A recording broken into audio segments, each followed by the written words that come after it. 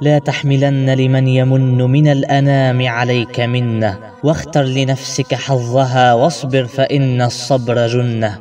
منن الرجال على القلوب أشد من وقع الأسنة.